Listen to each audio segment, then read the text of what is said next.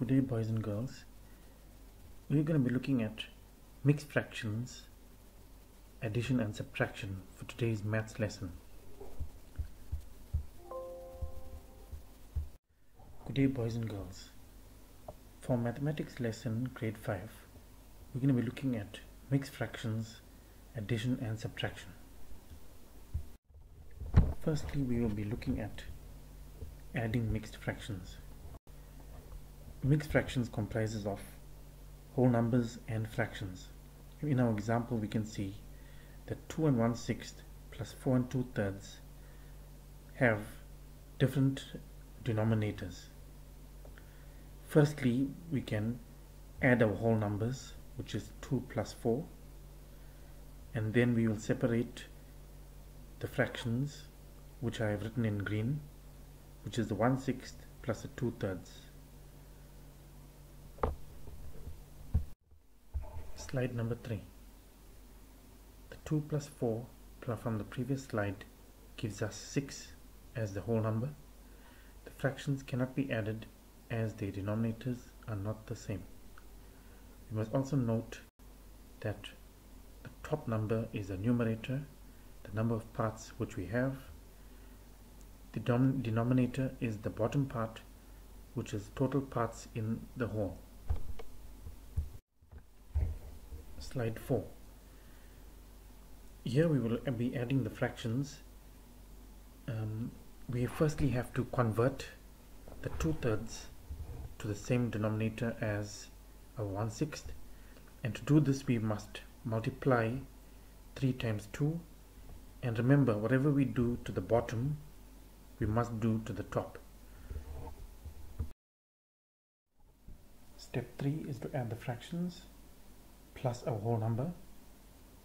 We simplify our fractions by writing down our 1 sixth plus the new fraction that we have where we converted our 2 thirds we multiplied them by 2 the numerator was 2 multiplied by 2 which gives us 4 3 multiplied by 2 which gives us 6 as a denominator we now have a common denominator which is 6 we therefore write down our whole number which is 6 plus 6 as a denominator.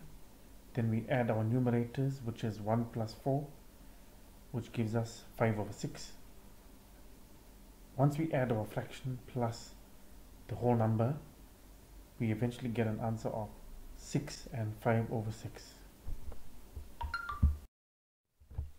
In this slide, we are subtracting mixed fractions.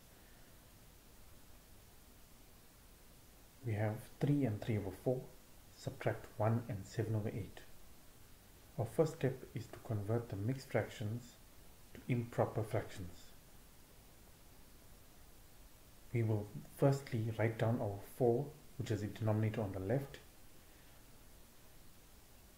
Then we multiply 4 times 3 which is 12 12 plus 3 is 15 that's how we end up with 15 over 4 and on the right hand side we will multiply 8 multiplied by 1 add 7 which gives us 15 and we also write down the same denominator as the mixed fraction which is the 8 we have we then end up with 15 over 8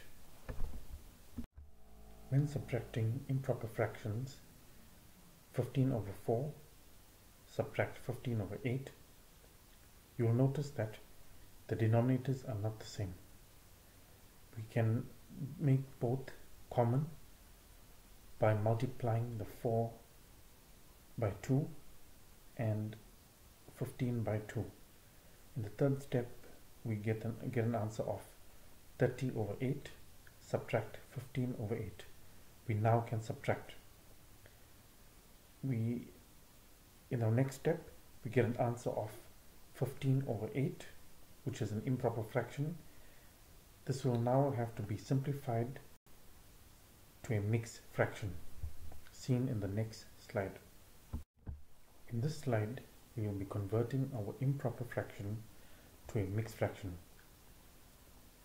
15 divided by 8 which gives us 1 the 1 becomes our whole number in the mixed fraction and we left with a remainder of 7 which becomes our numerator and the 8 as we have it in our improper fraction will be used also as a denominator.